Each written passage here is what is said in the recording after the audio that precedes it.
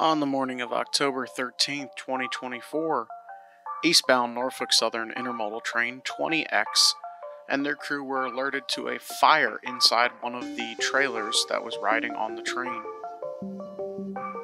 While the cause of the fire is still under investigation, it is believed that a load shifted inside the trailer that was riding on a trailer on flat car. It is believed that lithium batteries were involved and they sparked a fire inside of the trailer. What you see here is hours after the incident.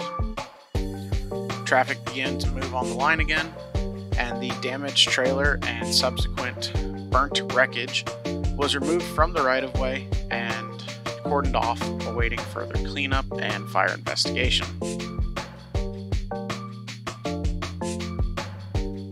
Thankfully, I can report that there were no injuries or fatalities involved in this incident, and although there were some serious traffic delays for the Amtrak trains that passed through the area, there were no major health hazards or anything associated with this. The crews from Goshen Fire Department and Norfolk Southern did an excellent job handling this and took a bad situation and handled it as best as possible.